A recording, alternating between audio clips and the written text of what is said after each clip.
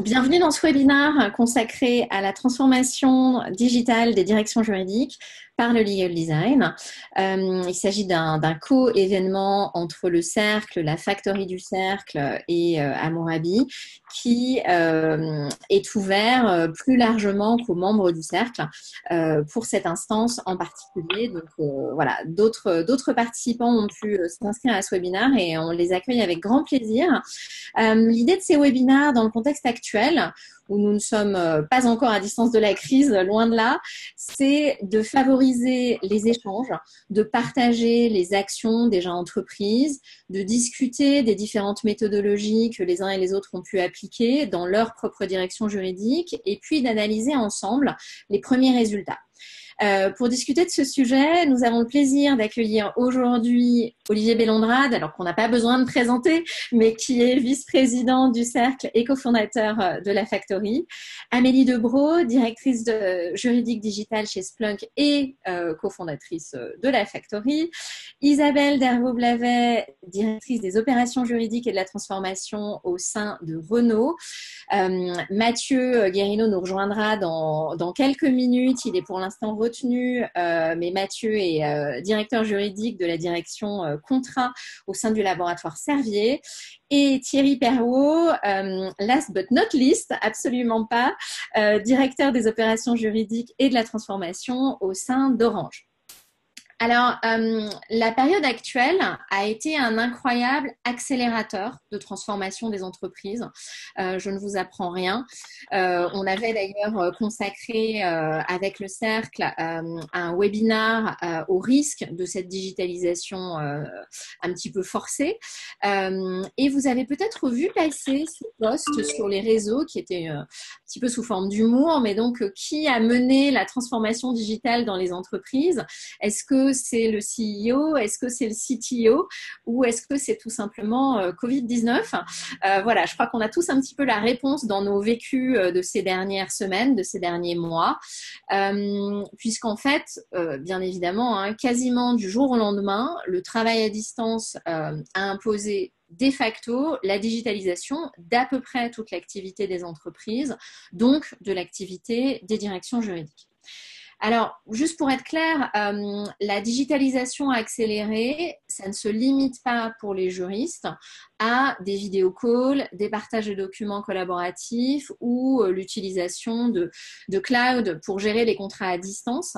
Euh, il y a eu pas mal d'articles dans la presse, notamment les échos, qui se sont qui, ont vraiment euh, montré de façon très claire que de façon beaucoup plus substantielle, c'est finalement la pratique du droit par les juristes qui s'est vue transformer dans ce contexte, avec évidemment un bouleversement du cadre juridique, je vous apprends rien, euh, une inflation législative et réglementaire encore accru, qui peut amener à s'interroger éventuellement sur des outils digitaux euh, pour gagner en efficacité euh, et s'assurer de ne rien rater.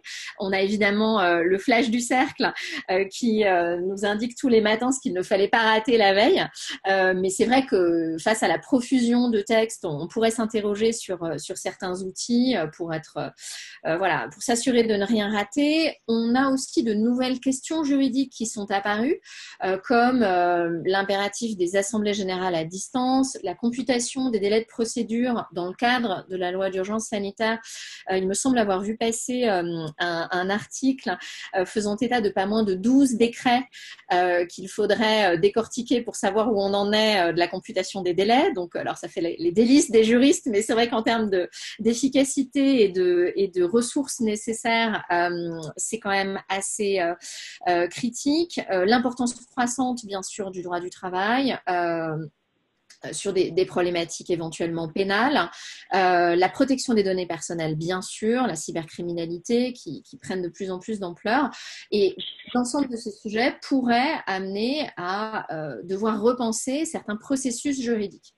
Euh, on observe aussi de nouvelles modalités d'exécution, ce qui implique de nouveaux outils. Là, on pense évidemment aux audiences à distance euh, qui ont eu lieu euh, au tribunal de commerce sous un délai assez record. Il me semble qu'en deux semaines, ils se sont organisés de façon assez remarquable. Alors, c'est peut-être un peu moins le cas au civil et au pénal Mais donc, il y a évidemment les audiences à distance avec un outil qui s'appelle Tixeo, je crois, et puis, euh, bien entendu, la généralisation de la signature électronique, qui n'est pas une nouveauté en tant que telle, mais qui a évidemment pris beaucoup plus d'ampleur ces dernières semaines.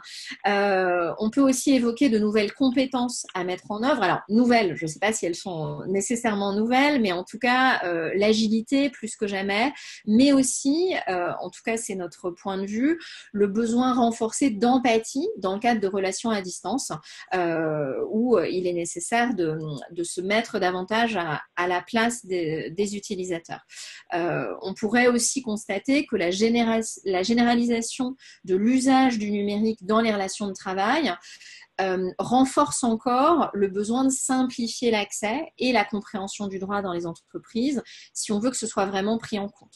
Euh, donc plus que jamais, il faut que ça aille vite, il faut que ce soit simple et clair, sans tomber dans le simplisme évidemment, puisque euh, qui dit droit dit aussi précision, exhaustivité. Donc c'est l'un des défis des juristes actuellement.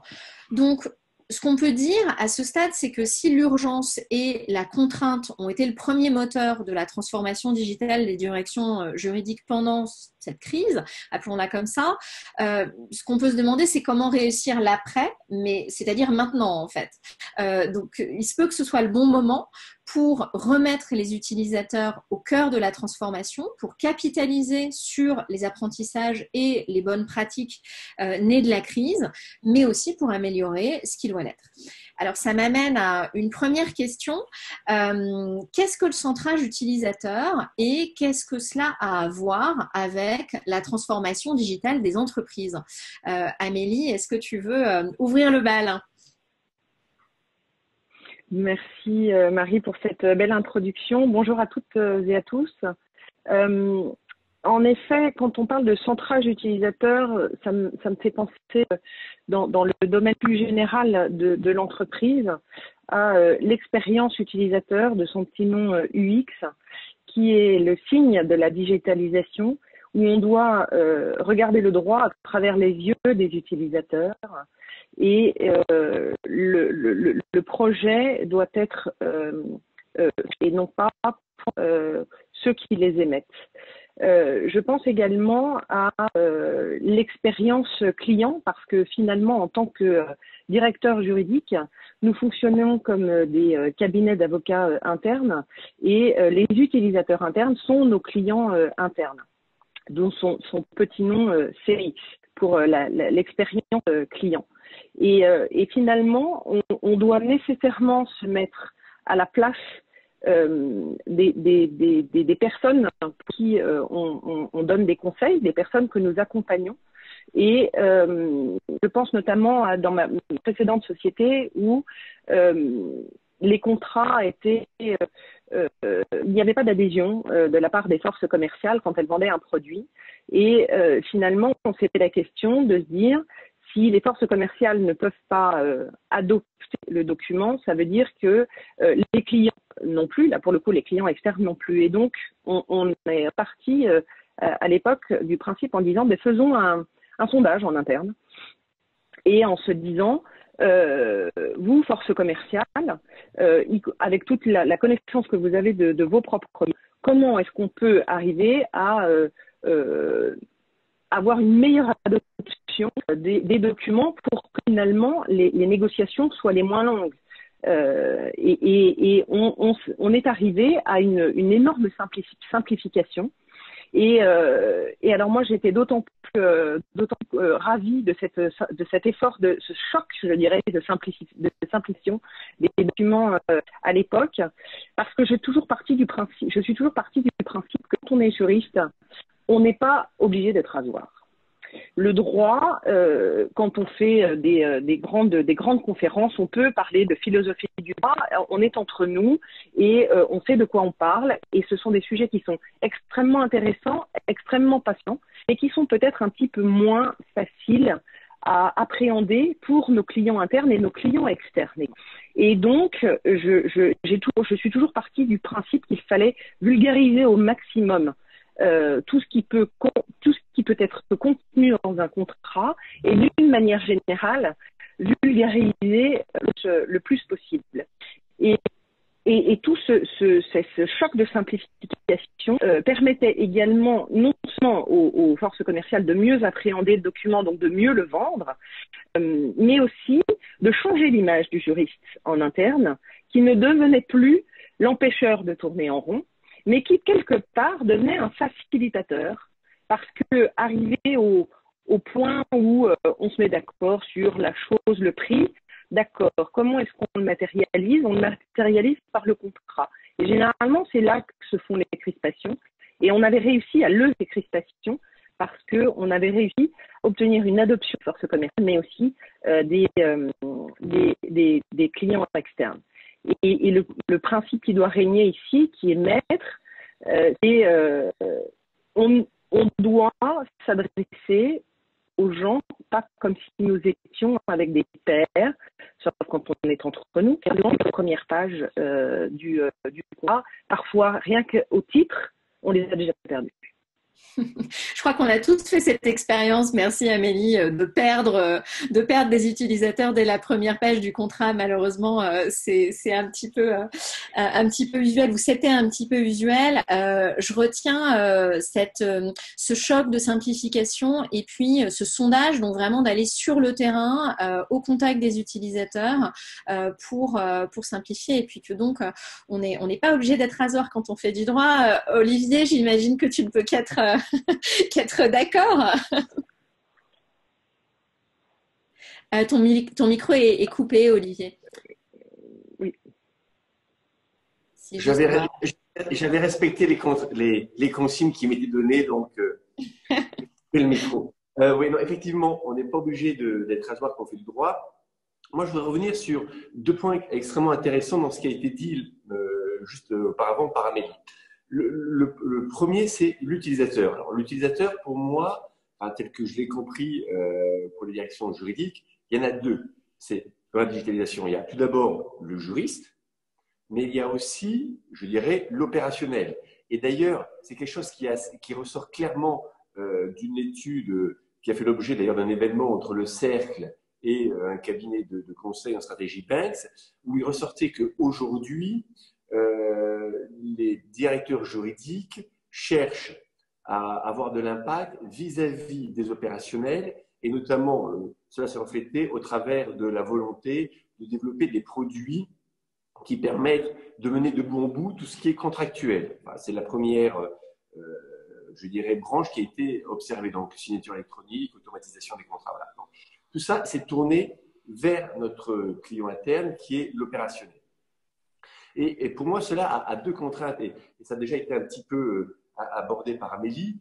Euh, la première, c'est qu'il faut simplifier les choses. On vit dans un monde où euh, les contraintes juridiques deviennent de plus en plus complexes. le directeur juridique, outre le droit, maintenant fait dans un certain nombre de cas les questions de conformité, se pose la question de la réputation. Donc les problématiques qui touchent, sans compter l'aspect géographique pour les entreprises qui sont implantées dans différents pays, sont extrêmement complexes et euh, difficiles à, appréhender. Et le travail du juriste est donc d'arriver à simplifier le message qu'il va faire passer.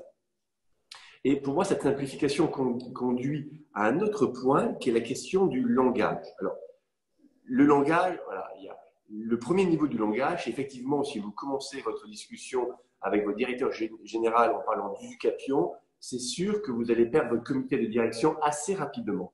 Mais au-delà de, de, la vulgarisation euh, qu'on évoquait il y a quelques minutes euh, et, du langage, formel, il y a une autre question derrière le langage, c'est que pour chaque spécialité, et, pour, les juristes n'y échappent pas, pour chaque spécialité, le langage est plein de, de sous-jacents, d'implicites qui sont liés à, vos études, qui sont liés à votre expérience, qui sont liés au métier que vous exercez.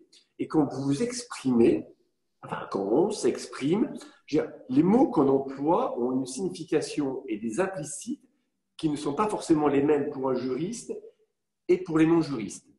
Et lorsque donc, on, fait ce travail de, simplification et de communication, il est extrêmement important de se poser la question de savoir est-ce que ce que moi je dis en tant que juriste ou directeur juridique est extrêmement chargé en implicite Et si c'est le cas, donner la grille de lecture à nos interlocuteurs pour être sûr que la manière dont on communique tous ensemble est idoine.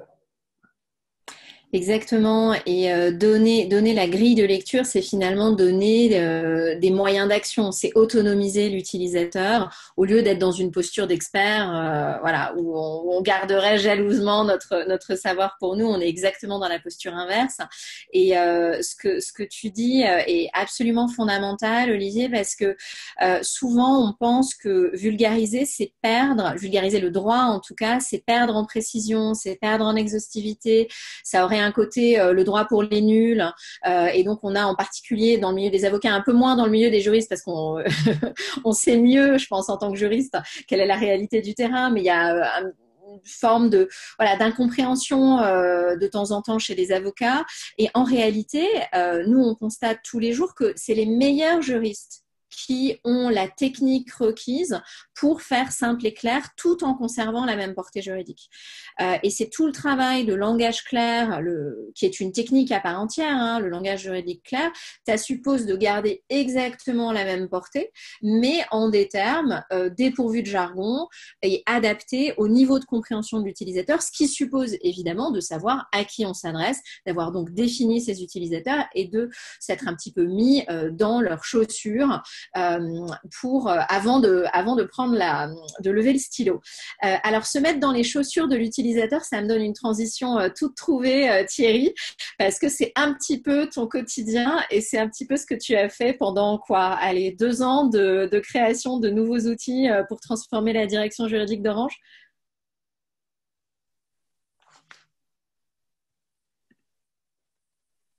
Thierry?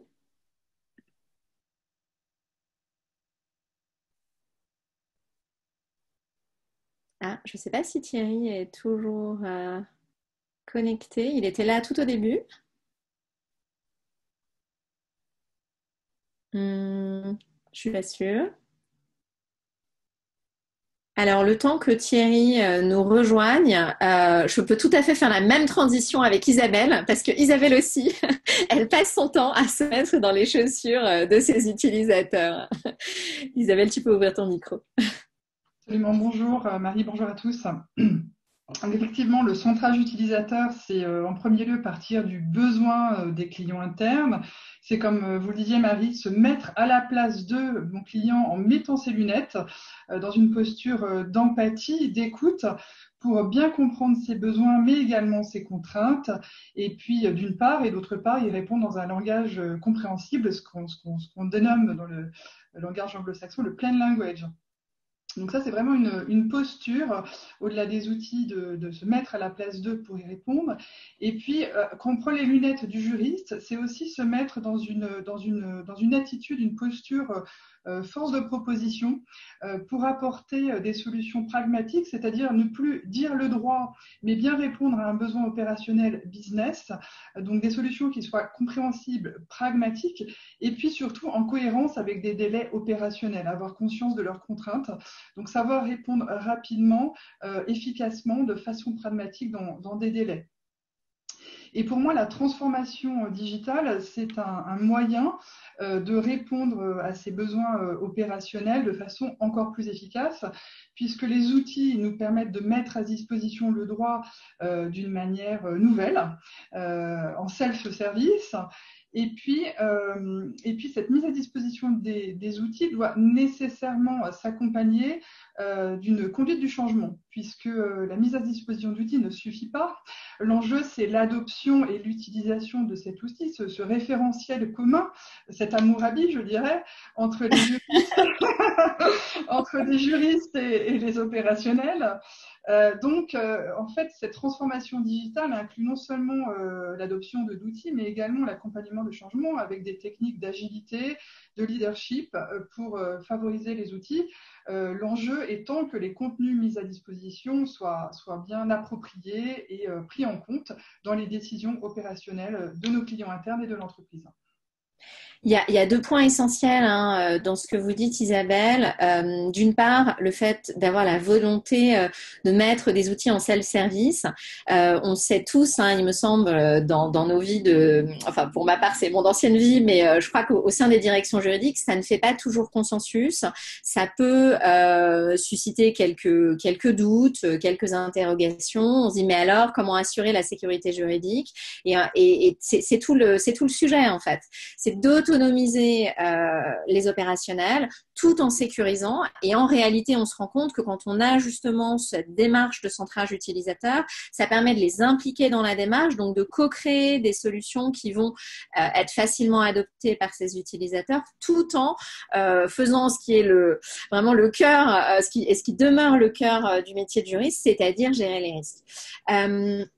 Du coup, euh, ça, nous amène euh, très, très naturellement à la deuxième question qui est euh, bah, comment faire Parce qu'on a compris l'importance du centrage utilisateur, mais donc quelles sont les méthodologies du centrage utilisateur appliquées à la transformation des directions juridiques euh, donc là, je crois qu'on a, euh, voilà, on a quelques quelques slides où on peut, euh, là, on vous a mis un profil utilisateur et des parcours utilisateurs. Donc, alors, qu'est-ce que c'est qu'un profil? On peut peut-être en parler une seconde. la toute première étape, hein, on l'a dit, c'est de se demander quels sont les utilisateurs. Donc, il peut y avoir des juristes, mais il peut évidemment y avoir des opérationnels. Euh, qui sont-ils? On, leur, fait des profils pour être vraiment en empathie avec eux. Euh, on a cité ce mot en introduction. L'empathie, c'est l'un des outils en fait de cette méthodologie de centrage utilisateur. Euh, on les juge pas, euh, on n'essaye pas de les changer. Juste, on observe euh, quels sont leurs modes de fonctionnement, quels sont leurs besoins, quelles sont leurs contraintes, quelles sont leurs frustrations. Et ça, c'est extrêmement important puisque c'est ce qui va nous amener ensuite à pouvoir créer des documents qui vont correspondre parfaitement à l'ensemble de leurs préoccupations. Euh, et on fait aussi des parcours, on va y venir hein, avec les différents projets euh, que vous avez réalisés les uns et les autres. Thierry, je crois que vous êtes oui, je te vois, tu es là. Euh, est-ce que, euh, est que tu peux partager avec nous quelques exemples de méthodologies euh, que tu as mis en œuvre? Et puis, c'est vrai qu'on avait, une première question pour toi qui était, bah voilà, se mettre dans les chaussures de l'utilisateur, c'est un peu ton quotidien. Qu'est-ce que tu as fait pendant 18-24 mois pour créer des outils digitaux pour transformer la direction juridique d'Orange? Oui, tu m'entends bien, Marie? À. Très bien. Je suis navré pour ce petit contretemps et merci à Isabelle d'avoir pris le, relais euh, au pied levé. Euh, effectivement, euh, pour, apporter un éclairage différent, le centrage utilisateur, c'est d'abord se demander qui est l'utilisateur dans chacune de nos initiatives et, en l'occurrence concernant la direction juridique d'Orange, ce que nous avons fait aussi, c'est d'appliquer cette démarche et ces principes à, la, transformation même de la direction juridique. nous avons mis, enfin, je, je veux, dire par là qu'il est, il est absolument, euh, absolument crucial euh, que l'intégralité du parcours utilisateur euh, soit analysée. Et quand je dis parcours utilisateur, c'est tout aussi, c'est tout en celui des, juristes pour, pour, pouvoir mettre en œuvre des services qui non seulement répondent aux besoins exprimés, mais qui répondent tels que les utilisateurs le souhaitent eux. Et c'est en cela que le design de l'expérience utilisateur est un moteur absolu dans notre transformation digitale pour, pour illustrer aussi cette démarche, Marie, comme tu le demandais, euh, un des outils qu'on que, peut utiliser, c'est le diagramme de, Peter Morville que tu, que tu partages à l'écran, euh, qui a le mérite, euh, je trouve, de poser quelques questions qui sont absolument fondamentales pour concevoir une bonne expérience utilisateur. Euh, les questions de, du type est-ce que ce que je propose répond à un besoin? Ça a l'air une évidence quand on le dit comme ça, mais ça n'est pas toujours aussi systématique que cela. Est-ce que cela génère de la satisfaction? Est-ce que c'est facile d'utilisation? Est-ce que ça a de la valeur pour l'entreprise? Je ne vais pas développer plus que, cela. Est-ce que, typiquement, est-ce que les utilisateurs y accèdent facilement? Et, quand on parle d'accès, on parle aussi d'accessibilité, euh, quelles que soient, je veux dire par là, quelles que soient les facultés motrices, sensorielles et cognitives de nos utilisateurs. Et puis, euh, last but not least, comme tu disais, euh, est-ce que l'utilisateur a confiance dans la donnée, dans l'outil en lui-même? Et c'est extrêmement important de se poser ces questions-là à chaque étape, à chaque étape et à chaque initiative, parce que si on ramène ce, ce diagramme de Peter Morville à une phrase, ça permet finalement d'écouter la voix de l'utilisateur et de faire en sorte que ça se voit dans l'interface. Donc euh, voilà, on écoute la voix et ça se voit et, et répondre à ces questions, c'est permet permet d'aller euh, permet d'engager une démarche qui génère de l'adhésion, etc. On écoute la voix et ça se voit. Ben, écoute, c'est mon nouveau mantra. merci Thierry. Euh, merci beaucoup et on verra, le, on verra les résultats euh, un, peu plus tard dans, dans nos discussions. Euh, c'est essentiel hein, parce que ces questions, euh, très sincèrement, alors moi j'avais essayé euh, de les poser quand j'étais encore en cabinet. Alors sans jouer les anciens combattants, ça commence à, à, à remonter pas mal. je franchement, moi j'ai quitté les cabinets, c'était quand? C'était en 2000. 14, hein, je dis pas de bêtises, ouais.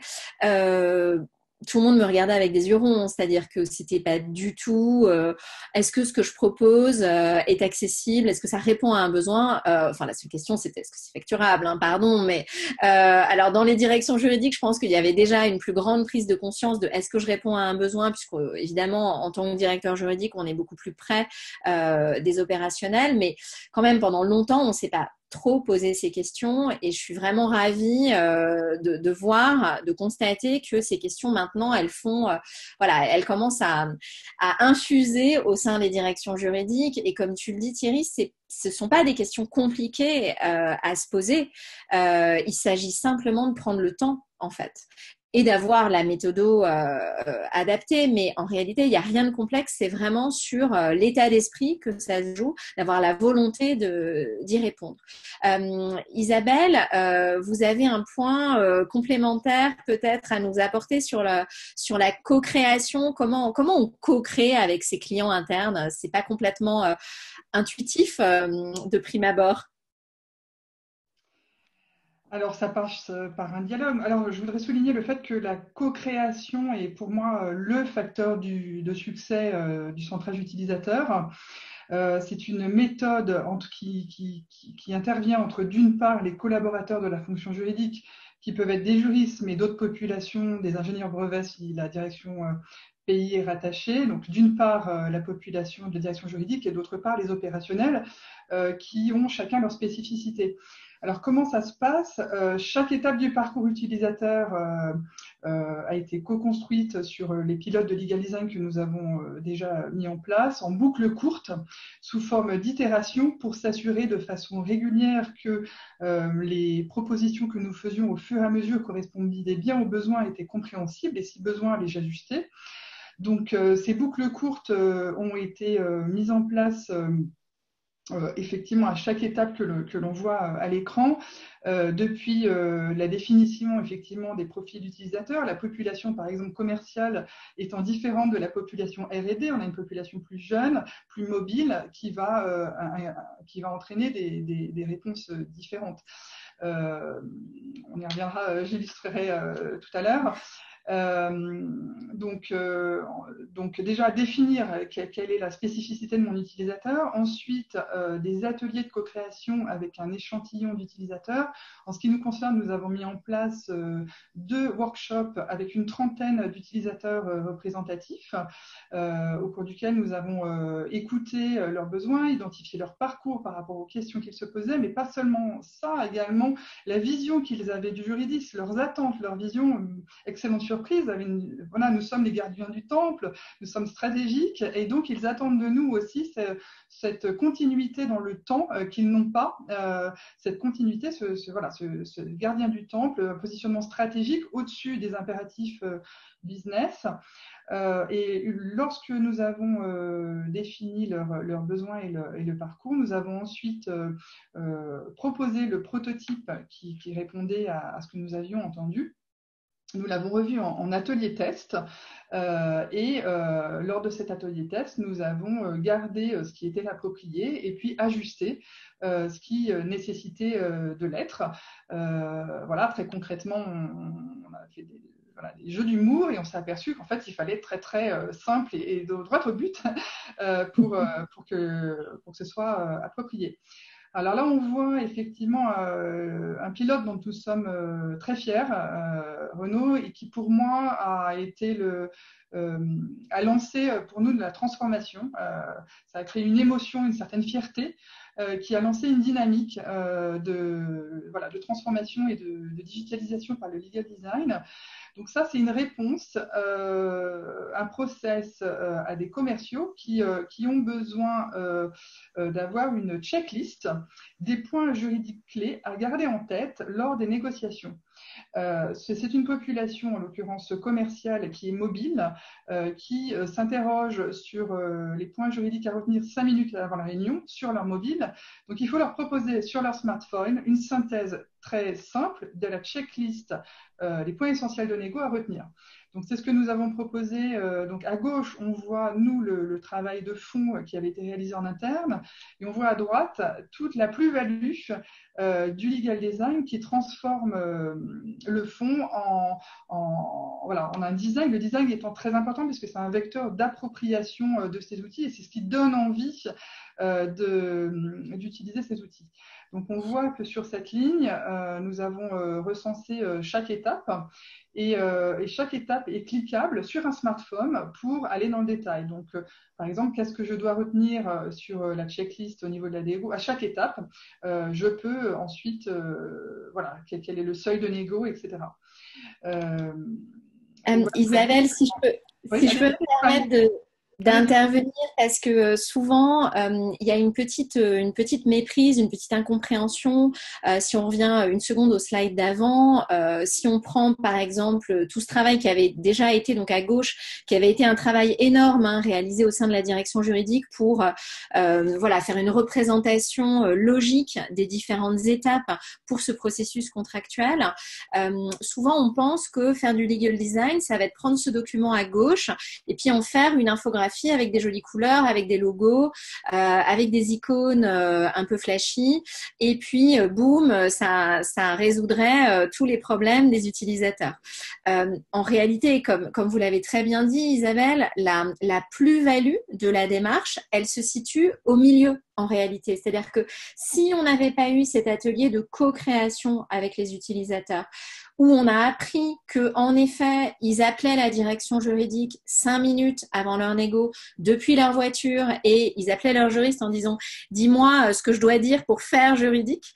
Euh, hein, C'était littéralement les verbatims qu'on avait eu en, atelier. C'est extrêmement intéressant. Mais si on n'avait pas eu cette info-là de leur parcours, hein, puisque je suis dans ma voiture, c'est cinq minutes avant, tout ça, c'est du parcours utilisateur. Eh on n'aurait pas su qu'il fallait faire non pas un doc Word, mais euh, un doc cliquable, non pas un doc en sept pages, mais un doc avec une vue d'ensemble et des étapes euh, très facilement repérables où on peut cliquer. On n'aurait pas su non plus que ce qu'il leur fallait, c'était pas seulement un logigramme, mais aussi des verbatims de négociation, puisqu'en fait, ils nous demandaient hein, presque des éléments de langage pour les aider dans leur négociation, tout en restant dans le droit fil de ce que euh, de, la préservation des intérêts juridiques euh, du groupe. Donc voilà, c'est tout ça en fait. Et c'est vraiment la différence entre visualiser de l'information, faire joli, euh, ce qui peut se retrouver dans des infographies, et j'ai rien contre les infographies au demeurant, ça peut être une bonne première étape, mais c'est vraiment la différence entre visualiser de l'info et faire du design, c'est-à-dire faire du centrage utilisateur et connaître suffisamment euh, les parcours des utilisateurs pour créer des documents qui répondent véritablement euh, à, à, leurs besoins. Amélie, je crois que ça, peut faire écho euh, à, à, ce que, tu as effectué, euh, ce, sondage des forces commerciales euh, qui vous avait amené au sein de ta direction juridique à, à transformer le contrat? Oui, ça rejoint ce que je disais au tout début du, propos. C'est-à-dire que pour, pour pouvoir emporter l'adhésion des, des, des, forces commerciales, en tout cas des, des, utilisateurs du contrat, puisque ce sont bien eux, il n'y avait pas que forcément des, forces, des forces commerciales, il, il, fallait bien partir de, de quelque part. Et ce quelque part, c'était effectivement de partir de, de sondages euh, quels sont euh, les points euh, d'achoppement ou, ou, plutôt si on revient à, à, un ou deux slides avant pour vraiment comprendre quels sont les points positifs, quels sont les points de frustration mm. et quels sont les, les points qui sont les plus les plus pénibles euh, voilà, les besoins, les contraintes, les contraintes et, les frustrations. Alors après, on n'a pas laissé la porte ouverte à dire euh, au, commerce, euh, il faut déplafonner la responsabilité et donner une garantie ad vitam aeternam. Il ne faut pas rêver non plus. Mais en tout cas, de, pouvoir trouver quelque chose qui soit médian par rapport par rapport aux risques qui peuvent être encourus et pour véritablement s'assurer qu'il euh, il, y a une, adhésion. Et, finalement on s'est quand même rendu compte que sur le comment dirais sur le fond on n'a pas vraiment changé grand chose sur les grands principes contractuels. Ce qui véritablement avait changé c'était en fait la forme la manière dont les choses avaient été euh, rédigées ou finalement euh, et alors, je n'ai absolument rien contre les magistrats de la Cour de cassation, mais nous étions passés quand même d'un contrat qui était à peu près aussi lisible que un arrêt de cour de cassation à euh, quelque chose qui euh, revenait à euh, beaucoup plus abordable et donc de beaucoup plus facile à vendre. Et, et, aussi, ça a été l'occasion, mais c'est un autre volet de, de, de, de pouvoir faire des, des, des trainings des forces commerciales utilisatrices de, pour qu'elle puisse faire ce premier niveau de support en fait. Euh, quand un client demande le déplafonnement de la responsabilité, on a aussi utilisé cette, euh, cette opportunité de refonte des contrats pour aller un petit peu plus loin et, euh, et, de dire mais finalement le premier niveau de support vous êtes tout à fait capable de le comprendre et, et tout en vulgarisant en fait. C'est c'est exactement comme tout ce qu'on dit depuis depuis tout à l'heure on n'en enlève pas euh, la, la, comment dirais-je, la, on n'enlève pas l'applicabilité de la règle de droit, euh, même la règle interne, euh, outre les, les lois qui peuvent, qui peuvent s'appliquer. C'est juste que c'est plus facile de comprendre. Exactement, c'est un, point que tu soulèves qui me semble fondamental parce que souvent, euh, il y a une forme d'appréhension des juristes sur le fait que si on se met à écouter les utilisateurs, bon, bah, on, en connaît certains hein, quand même un petit peu euh, cow-boy sur les bords, qu'on adore, hein, mais les directeurs export, etc., euh, nos grands amis, euh, bon, bah voilà, parfois on a une appréhension parce qu'on se dit, bah oui, non, mais si on les écoute, euh, bon, bah d'accord, mais on fait plus de droit. Et donc, c'est vraiment tout, tout l'intérêt de cette méthode, c'est que à aucun moment, on va faire changer, on va faire varier la règle de droit, comme tu le dis très bien, les principes, la, substance de ton contrat est restée la même. Par contre, c'est la façon de véhiculer l'information qui a été rendue plus accessible. Euh, et ça, c'est euh, extrêmement, euh, extrêmement important. Thierry, je crois que tu voulais évoquer aussi, parmi ces, méthodologies de, de centrage utilisateur, d'autres techniques. on peut faire on peut faire, euh, comme on l'a dit, euh, des profils, des parcours de la co-création, de l'itération à loisir. Et c'est vraiment ce que tu as effectué dans un projet quand même très ambitieux au sein de la direction juridique pour, pour 700 juristes chez Orange. Oui, la démarche est tout simplement la même. je vais relever juste quatre points.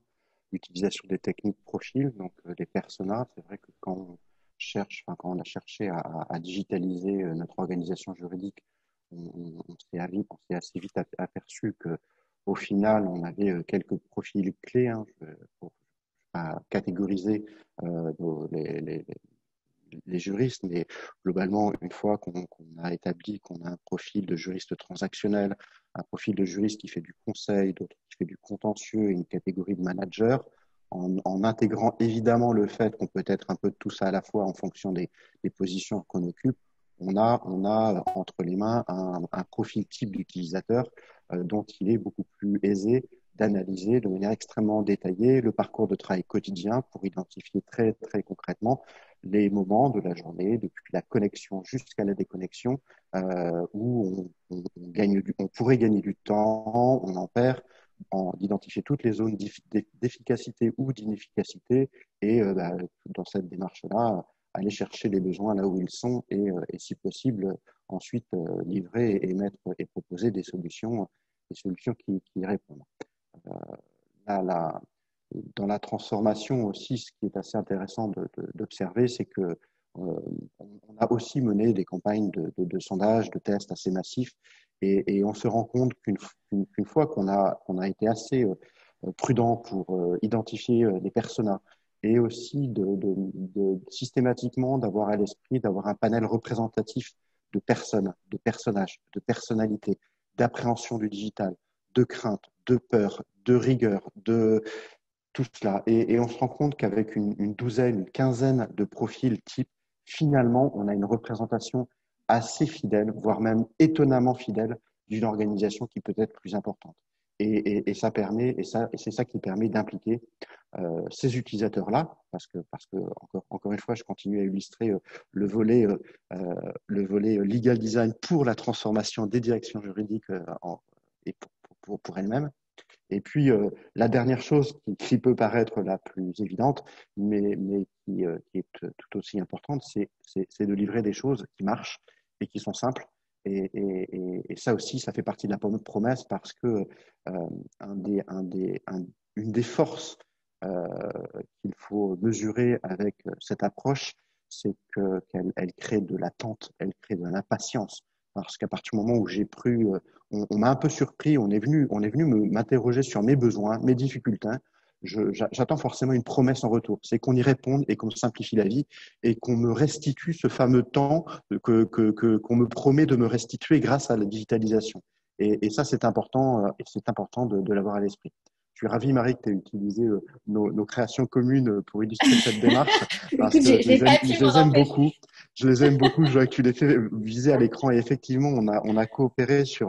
Alors, il, il, est une chose de, d'aller de, de co-construire avec les utilisateurs les, les, les, outils, les services, ce qui va améliorer leur vie et donc euh, l'efficacité de nos entreprises.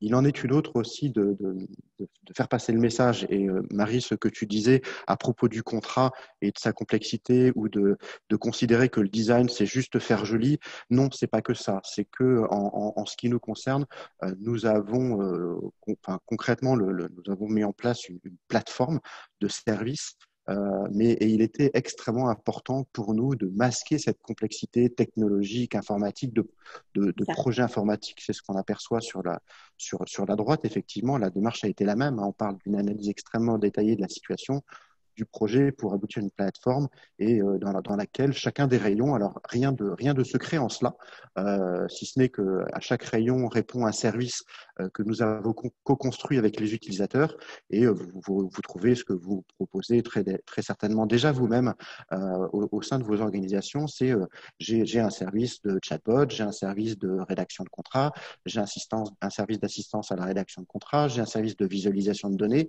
et, et tout, tout ceci est organisé de manière simple et regroupé dans une plateforme. Donc, il était extrêmement important aussi pour nous de, simplifier et de ramener euh, et de, rassurer aussi nos utilisateurs parce que pour, pour la vie de, nos juristes aussi, la vie est un peu compliquée. Hein. Il y a une profusion de moyens, une profusion de canaux de communication, une profusion d'informations.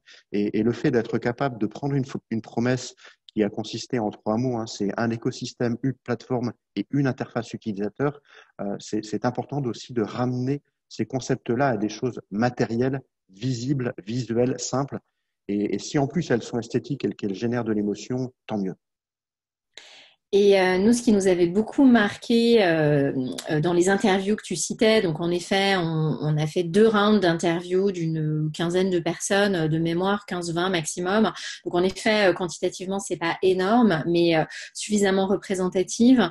nous, on avait été très très marqués par cette phrase que du coup on a on a mis là de façon anonyme, bien sûr. C'est voilà, on, on faisait réagir les, les, juristes sur certains outils historiques et et euh, voilà, il y avait cette frustration notamment qui est ressortie, c'est je nourris la machine, mais moi, elle me nourrit pas. Et là, je pense qu'on touche du doigt aussi euh, pourquoi on fait ces transformations euh, digitales. Euh, à quoi ça, qui on sert? Est-ce qu'on fait de la tech pour la tech ou au contraire, est-ce qu'on fait de la transformation au bénéfice des utilisateurs, en l'occurrence les juristes, pour qu'ils se sentent, qu'ils aient un meilleur confort de travail, qu'ils se sentent plus à l'aise, qu'ils aient davantage confiance, tu l'as dit, dans l'outil? Donc c'est aussi à ça qu'on a essayé de répondre dans ce, dans ce projet, c'était que justement, ils se sentent nourris par la transformation et par la tech. Et que ce soit ça aussi qui crée la dynamique et, euh, et l'engagement. Euh, je oui, vois que dernier, petit détail pour illustrer le, point de départ de cette, de cette démarche, finalement, ça, ça, ça revient à la, à la formule du, du, de la story agile. C'est en tant que j'ai besoin d'eux afin d'eux. Et si on réussit à faire exprimer à nos interlocuteurs, nos clients, nos juristes, nos utilisateurs cette formule complète en tant que juriste, j'ai besoin de disposer de tel type de service afin de gagner du temps, afin de raccourcir le temps de signature des contrats commerciaux, afin de quoi que ce soit, c'est extrêmement important de, de, de, de, ramener les choses à cette formule simple. Pardon Marie, je t'ai un peu interrompu, mais ah mais non, non, mais pas du tout. Tu viens de me donner encore un autre, un autre mantra, donc je, je suis ravie. euh, Mathieu, euh, merci de nous avoir rejoints malgré euh, plein d'urgences de ton côté. Euh, merci pour ta disponibilité. Est-ce que tu veux nous parler de, du centrage utilisateur au sein de ta direction juridique? Oui, bonjour, bonjour à tous. Désolé, un peu de retard.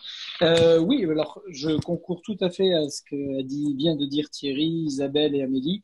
Et c'est vrai que si on parle, quand on parle de centrage utilisateur, faut-il encore que euh, nos opérationnels euh, soient des utilisateurs, c'est-à-dire qu'il faut déjà qu'ils considèrent que le contrat est, euh, ils en sont les utilisateurs et que c'est pas simplement pour l'usage unique de la direction juridique et que eux bah, mènent leur projet euh, de leur côté euh, indépendamment du contrat.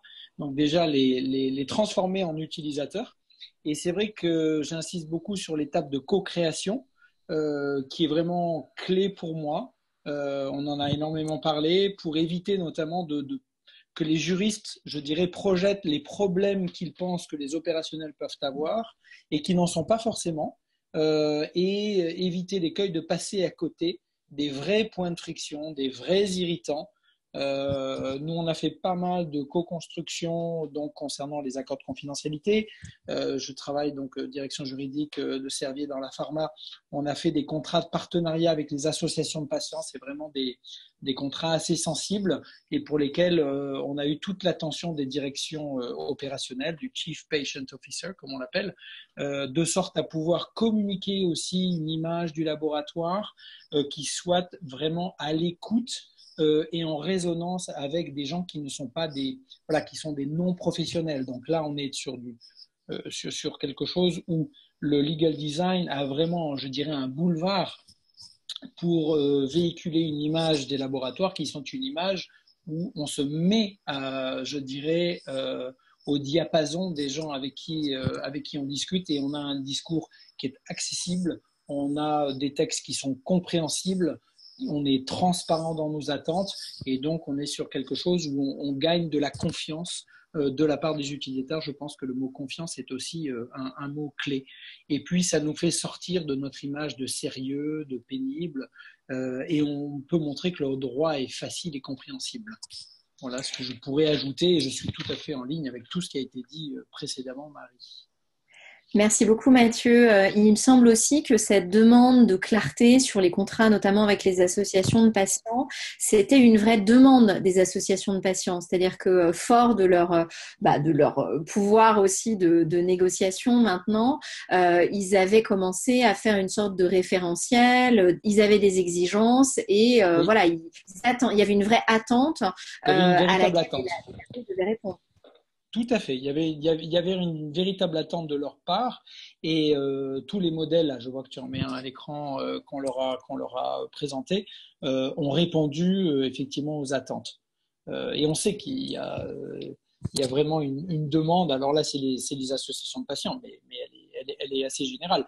Je sais que dans le monde de la pharma, on, a aussi on recourt à beaucoup de clients avec à des contrats avec des consultants des personnes physiques. Et je sais que les premiers modèles, notamment d'accords de confidentialité, revus donc en utilisant le legal design et la démarche de co-construction, euh, j'ai eu des témoignages comme quoi ils étaient extrêmement preneurs et enfin un accord de confidentialité qu'on comprend et auquel on peut adhérer.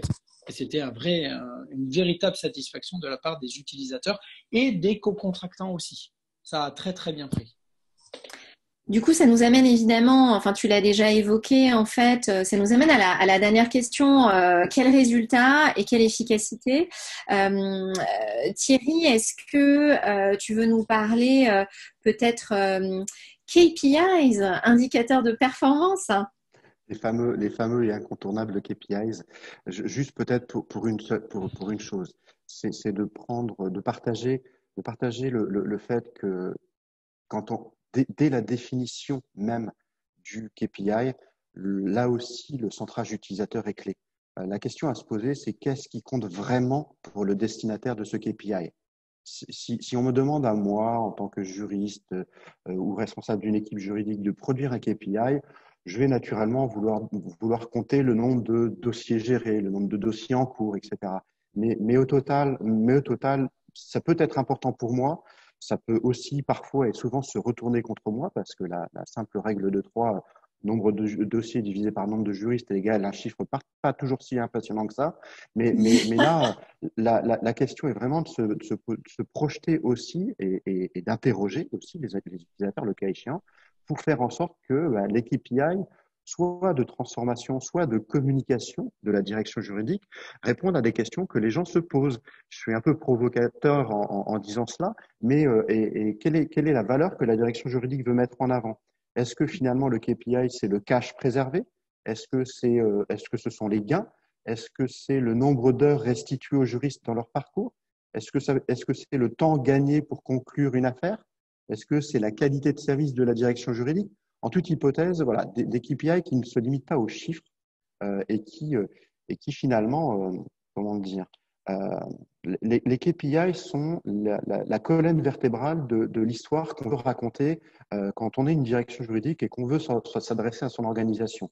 C'est ça aussi qui fait que on va, on va, on va générer de l'adoption parce que rien de tel que voilà, c'est toujours la même histoire, c'est extrêmement humain. Hein, dès, dès, lors que je communique avec que quelqu'un communique avec moi avec mes éléments de langage, forcément, je l'écoute mieux, je le comprends mieux et je me, j'ai aussi là le sentiment qu'on s'adresse à moi.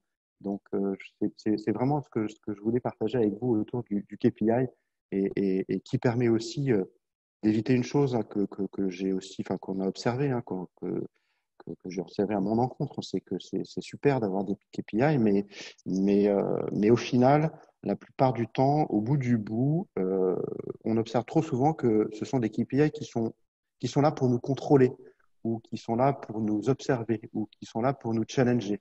Euh, Êtes-vous, euh, direction juridique, efficace financièrement tel que moi je le conçois?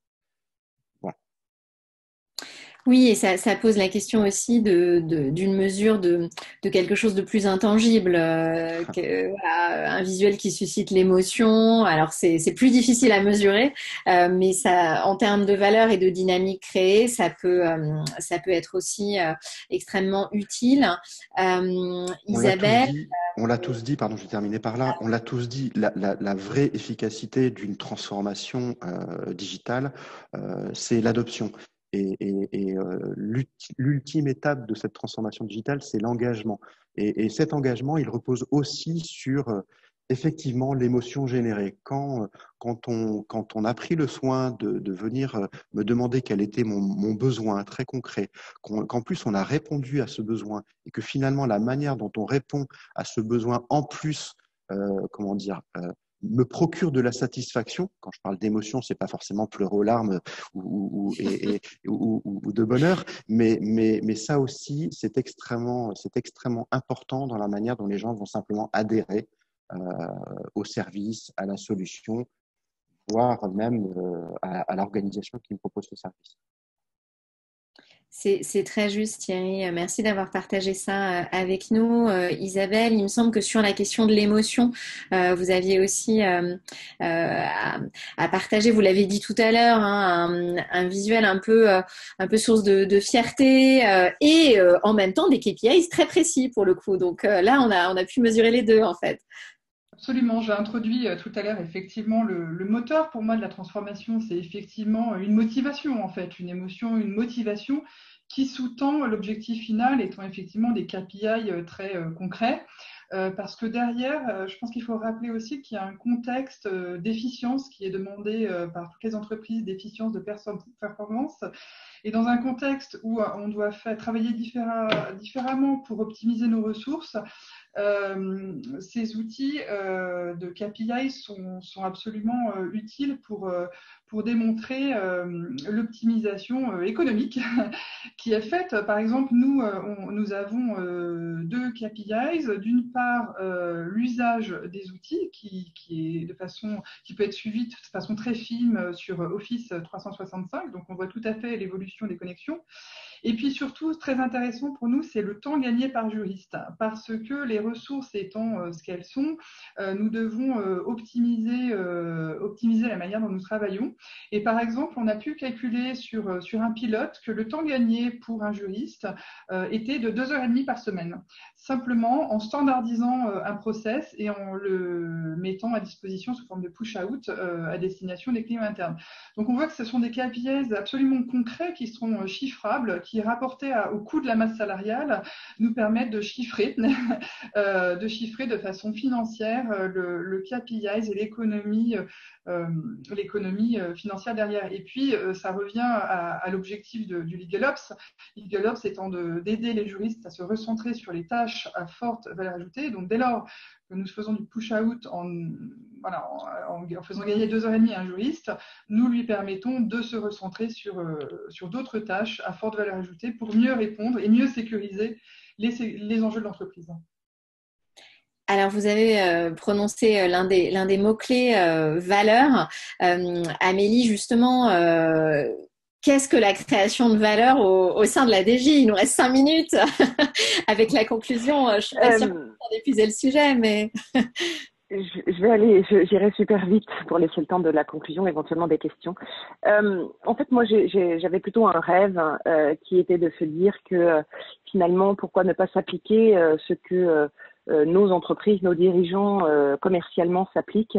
Et euh, dans le monde du, du, digital, du logiciel dont je viens, on parle de Net Promoter Score. Et j'avais un rêve qui serait que à chaque fois qu'on fait appel à la direction juridique, on envoie ce, ce, ce, cet avis de satisfaction, ce questionnaire de satisfaction auquel il y aurait euh, un, un, comment dirais-je un résultat qui serait euh, qui serait affiché parce que aujourd'hui dans, dans, dans, dans, en tout cas dans, dans le domaine qui est le mien mais il y a d'autres domaines euh, d'autres industries qui sont concernées par le net promoter score. Quand on a un bon net promoter score euh, on est on est en bonne marche pour effectuer la croissance et réaliser ses objectifs.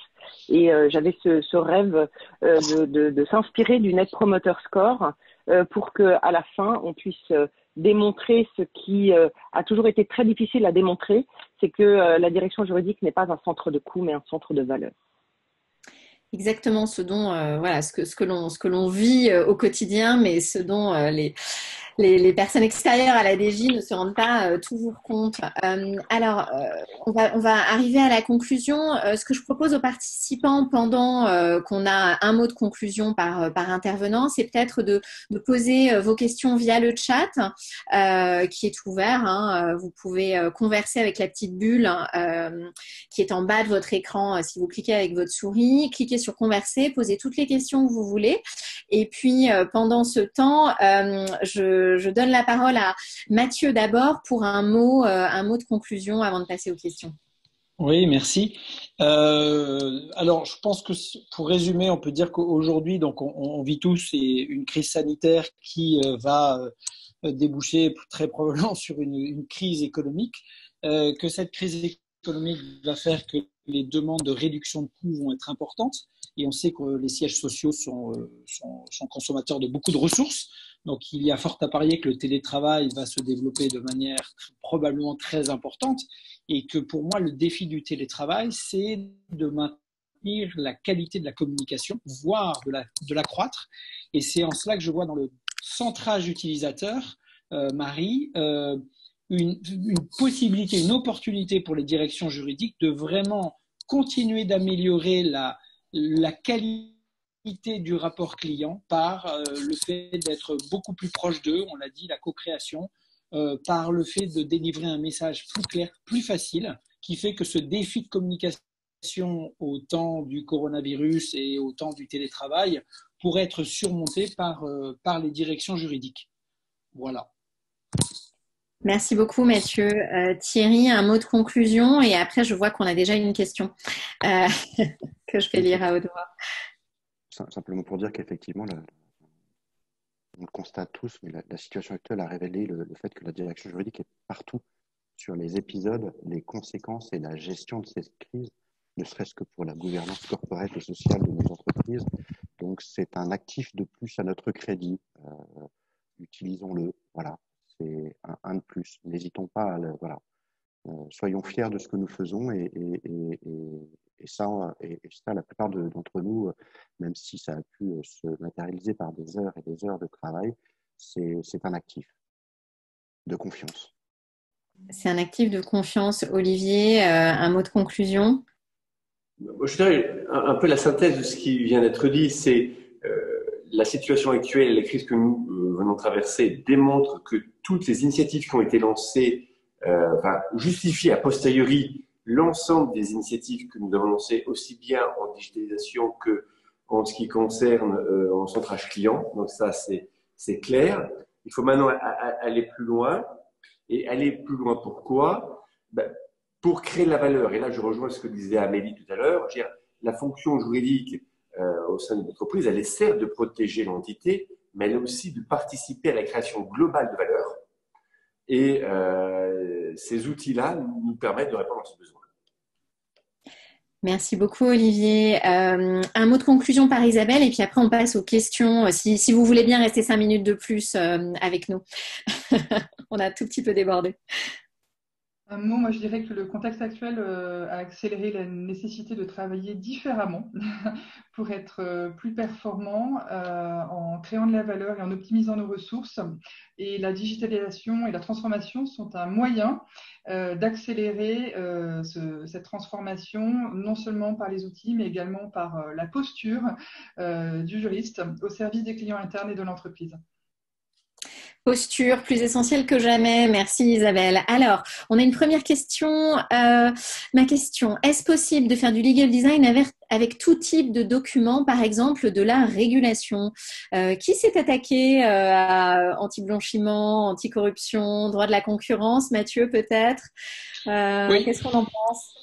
Euh, effectivement, on a, on, a, on a commencé, alors elle est en cours, hein, elle a été un peu stoppée au début par le Covid, mais cette démarche de vouloir euh, se mettre déjà, nous, à la place des utilisateurs, euh, notamment dans nos, nos, programmes de sensibilisation, notamment au droit de la concurrence. Et c'est vrai que la prochaine étape était d'arriver justement, justement à la co-création, au moment où on allait demander aux utilisateurs, mais comment vous voyez les choses? Euh, si bien que ce qu'on imaginait nous et ce qu'on avait d'habitude assez classiquement pour prendre le droit de la concurrence, euh, un volet entente, un volet abus de position dominante dans, dans, dans, la logique du juriste, on a ah complètement changé ça pour partir sur euh, quelque chose, mais on l'a pas encore, enfin on l'a commencé, qui soit, mais moi j'ai une politique commerciale et donc en quoi le, en quoi le droit a un impact là-dessus, et c'est d'arriver, in fine, mais c'est en cours, à une sorte de, legal by design euh, des opérations commerciales. Alors pour, pour poursuivre, merci pour ce témoignage Mathieu, pour poursuivre, c'est vrai que euh, moi ça fait partie de mes, de mes petites obsessions, euh, la compliance, euh, peut-être parce que ça faisait partie de mes grandes frustrations euh, quand j'étais en entreprise, pour tout dire. Et donc l'un de mes premiers projets, en fait, ça a été dans ma propre direction juridique à l'époque, ça a été de m'attaquer comme toi Mathieu à une formation droit de la concurrence qui était ma compétence première.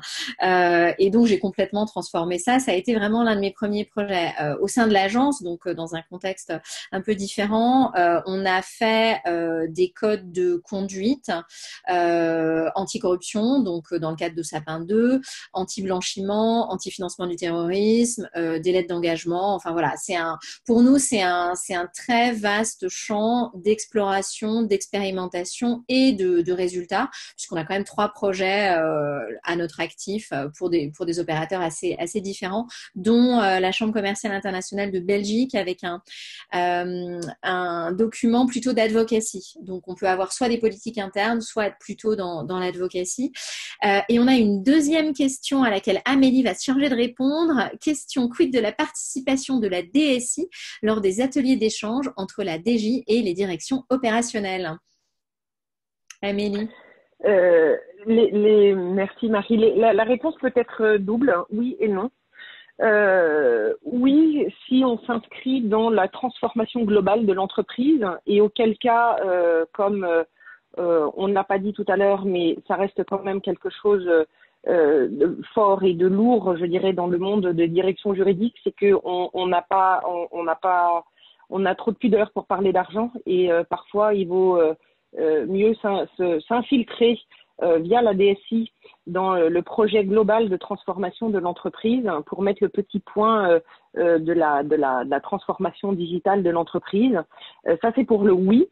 et parfois non, parce que la DSI peut apporter beaucoup trop de contraintes. Eux aussi savent être rasoirs. Il n'y a pas que nous, on n'a pas le monopole du radibus. et, et, parfois peuvent empêcher d'avancer euh, sur certains euh, sur certains points et sur euh, l'adoption de certains de certains outils. Ouais, alors je, je, rebondis sur ce que tu dis, Amélie. Euh, nous, euh, dans les ateliers que l'on facilite, euh, on accueille toutes les parties prenantes. Et donc si la DSI fait partie du projet, bien entendu, euh, elle, est, euh, elle, elle, participe à l'atelier. Et on, on, règle cette question de la contrainte dès le départ avec des règles pendant l'atelier puisqu'on va être dans une phase de divergence. Et donc on va poser les mêmes règles pour tout le monde. C'est dans la phase de divergence, on fait fi des contraintes, on n'est pas sur la technique on est sur quel est le besoin, euh, voilà. Et donc ça, alors ça, ça demande, euh, voilà, pas mal de facilitation. Il faut souvent euh, ramener les les conversations dans le droit fil de ce qu'on souhaite, mais ça nous paraît important que toutes les parties prenantes soient bien à bord dès le départ du projet, mais avec une euh, vraiment une, un point d'attention sur la facilitation pour dire qu'il ne s'agit pas de dire ah bah non c'est pas possible ah bah non ça va être trop cher ah bah non ça va être trop long ah bah non la DJ c'est pas prioritaire. Voilà c'est pas le sujet euh, mais on, on, on, y arrive on y arrive. Euh, alors il y a une autre question euh, quels outils peuvent aider à la conception des documents legal design? Euh, alors là si vous permettez j'ai envie d'y répondre directement parce que j'ai envie de dire que c'est pas c'est moins un outil qu'un état d'esprit c'est-à-dire que pour moi, l'outil le plus puissant en legal design, c'est la volonté d'autonomiser l'utilisateur. Si vous avez ça, si vous avez l'empathie et si vous avez l'envie de lui donner les moyens de comprendre et d'agir, ben, vous avez tous les outils qu'il vous faut. Alors après, évidemment, pour faire joli, euh, on peut euh, utiliser euh, certains, certains outils, mais j'ai envie vraiment de garder les outils pour, pour une phase voilà, ultérieure. Je pense que vraiment le plus important, c'est l'état d'esprit. Et puis, ne serait-ce que sous Word, on peut faire des choses avec des tableaux, des cellules qu'on va mettre en couleur. éventuellement, il y a des outils de co-création en, ligne qui peuvent être pas mal. mais je, comment dire, je prendrais garde à ne pas sauter tout de suite sur les outils, hein, comme on souvent, euh, les juristes veulent sauter tout de suite sur euh, une solution toute faite, alors que vraiment toute la valeur du legal design, c'est le process et c'est l'écoute euh, des utilisateurs. Je ne sais pas s'il y a une autre réponse que la mienne à, ça sur les outils. Alors, on a une autre question. La période post-Covid va révolutionner nos méthodes de travail, notamment renforcer le télétravail, c'est sûr. Les normes se complexifient et les opérationnels ne doivent pas être largués. On est d'accord. Il faut réduire le gap qui pourrait s'installer. Legal est probablement l'outil privilégié en intégrant ces opérationnels au processus juridique. Donc oui, au-delà de l'aspect visuel, il faut mettre l'accent sur les méthodologies qui permettent d'intégrer les non-juristes à la diffusion et à l'application de la norme dans l'entreprise. Ah, mais c'est Sidi. Mais bonjour Euh, bah, on est complètement d'accord, hein en effet. Je ne sais pas si tu avais une question euh, en particulier, c'était plus pour partager en fait une, euh, expérience, j'imagine. Mais en tout cas, oui, on est, voilà, c'est vraiment la co-création avec les opérationnels qui va créer la valeur et qui va permettre de diffuser la norme dans l'entreprise, comme tu le dis, en effet. Est-ce qu'on a d'autres questions via le chat? Je suis désolée, on a largement débordé. merci à tous pour votre patience. Euh, non, je crois que c'est tout. On a fait le, tour des, questions. Mais il me reste à vous remercier chaleureusement tous. Euh, c'était un plaisir. Merci beaucoup. Euh, merci aux participants aussi.